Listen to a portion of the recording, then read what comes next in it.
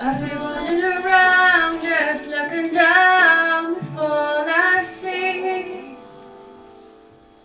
Door ook iedereen met elkaar in eh, contact te brengen, eh, is dit project, project eigenlijk eh, van de grond gekomen. En met heel veel hulp van Viveste en van de gemeente.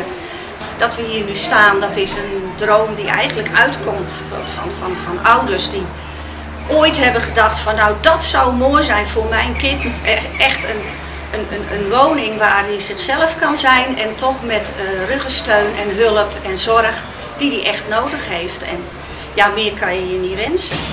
Het is echt. Dus je bent blij met het resultaat? Ja, ik ben fantastisch blij en eigenlijk alle ouders, wat ik nu hiervan hoor, die, die zijn hier heel blij mee.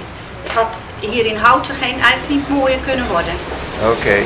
Welkom eh, allemaal bij de officiële opening van locatie Stationserf. Ontzettend leuk dat er zoveel mensen zijn. Ongeveer acht jaar geleden zijn wij, eh, is er een initiatief gestart, een bijzonder initiatief. En dat is gestart door de familie Builing en de familie Vermeulen. Het is een behoorlijk ingewikkeld proces om als eh, eh, professional de verantwoordelijkheid te gaan delen. Als ouder eh, en, en jij krijgt te maken met een stukje loslaten van je kind. En eh, eh, dat is niet makkelijk. Dat zijn processen die in gang gezet moeten worden. En dat maakt dat aandacht voor elkaar erg belangrijk is. Dat raakt dan de visie van Philadelphia, want wij staan naast mensen met een beperking. We zoeken naar mogelijkheden om hun wensen te realiseren, maar dat doen we samen met ouders, samen met familie, zodat de cliënten een zo zelfstandig mogelijk leven kunnen leiden. Een bijzondere dag vandaag. De opening van, de officiële opening van eh, de locatie Stationserf van Philadelphia. Twee jongens kwamen bij me langs met de vraag, eh, zou je wat willen kunnen en zou je wat willen en kunnen betekenen voor de huisvesting van onze kinderen? Ja, dat zou wel kunnen, maar dat wordt een heel lang traject. Nou, dat is in ieder geval uitgekomen. Ehm, we staan hier op een bijzondere locatie. Want er is een directe koppeling tussen deze locatie, het oude station, en het appartementencomplex wat we vandaag eh, officieel in gebruik nemen. Want eh, dit oude station is verplaatst, maar dat was niet mogelijk geweest zonder de realisatie van het appartementencomplex. Want de gemeente was bereid om de grondkosten die wij betaald hebben voor de appartementen te investeren in de verplaatsing van het oude station. In goede bron hebben we vernomen dat eh, er nog een wens was met betrekking tot de recreatieruimte om die wat aantrekkelijker te maken. En dat hebben wij vertaald in de vorm van een wie. En die zou ik graag willen overhandigen. Compleet met alle accessoires die erbij horen. Kom ik, kom ik nu aan de slotzin. Ik wens u heel veel luchtplezier en heel veel spelplezier. En dan is eigenlijk natuurlijk nu van hoe gaat het nu? Want ik denk dat het wel een beetje wennen is. Zou het niet? En niet alleen voor de cliënten, maar ik denk eerlijk gezegd ook wel een beetje voor de ouders. Want eh, ja, als je kind het huis uitgaat, hoe lang je er ook aan hebt gewerkt, is dat natuurlijk toch ineens dat er ook een, eh, een lege plek in huis is. Dat geldt voor ons allemaal die kinderen hebben en die weten dat die weggaan. En ook al weet je voor jezelf dat het beter is voor je kind, het valt niet altijd mee om het echt ook te kunnen accepteren dat iemand dan toch ineens zijn eigen leven leidt. En dat iemand ineens zegt, ik ga naar huis. En dan is dat huis niet meer het huis bij de ouders, maar het eigen huis op het stationserf. En, maar dat is natuurlijk toch uiteindelijk het doel. En dat vraagt van ons allemaal weer een nieuwe fase van leer. En niet van loslaten heb ik ooit een ouder horen zeggen, dat vond ik heel mooi, maar van anders vasthouden. Want je laat je kind natuurlijk nooit los. Dat doet niemand, dus ook wij niet. En ook jullie niet als ouders. Maar een andere vorm van vasthouden, dat is volgens mij de crux.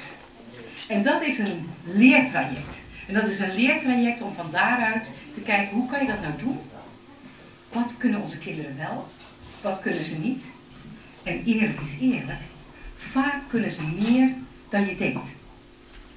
Alleen ook dat is een vorm van anders vasthouden en af en toe even accepteren dat het misschien niet zo gaat als dat jij wilt. We zien hier in je nieuwe huis, inclusief wie, ouders Geniet van jullie kinderen dat ze toch zoveel kunnen. Ik zei het net tegen een ouder. Ons mooiste compliment voor Philadelphia is als ouders tegen ons zeggen. Wij wisten niet dat onze kinderen zoveel konden. Daar gaan wij voor. En daar willen we graag ook met elkaar voor gaan. Ik wens jullie een hele geweldige tijd. Dank jullie wel.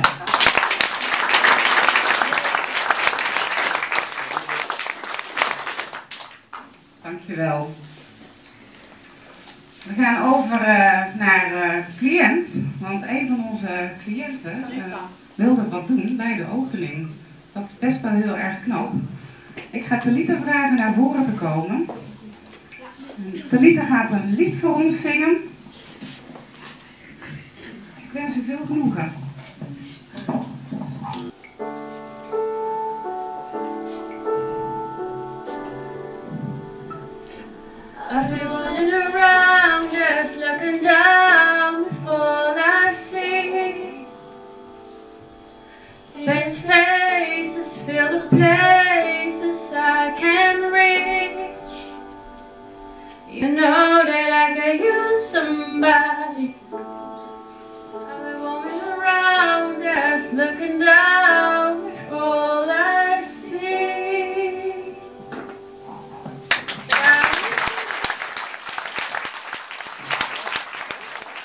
Heren, jongens en meisjes, het is toch een hele eh, bijzondere dag. Niet omdat het allemaal zo lang heeft geduurd, misschien ook wel.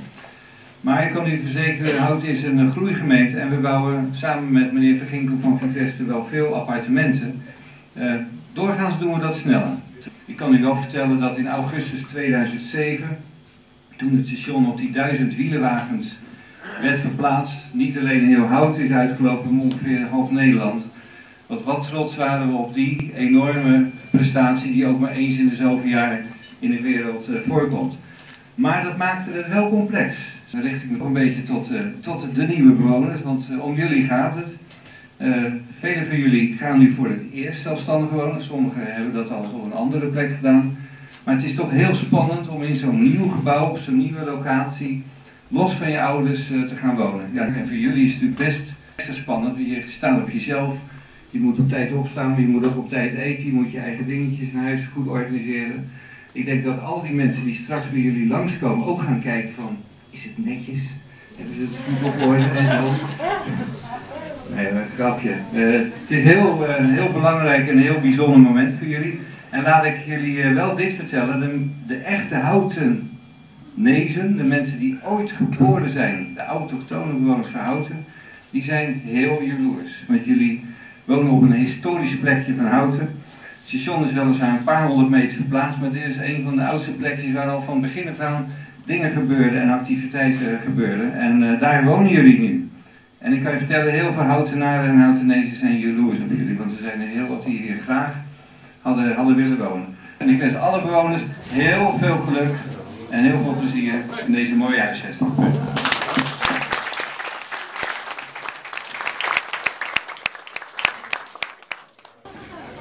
Mooi weer. Dankjewel, ja, absoluut. Goed. Uh, voordat ik ga knippen, anders kan het niet meer. Een applausje voor de nieuwe bewoners. En ik ga knippen. Dat is een hoge uitzondering, heeft u al van me gehoord. Maar ik knip zodanig dat iedereen een eigen stukje van het lied heeft. Kijk. Ja, dat is begin ik bij de zangeres. Is ook wel even.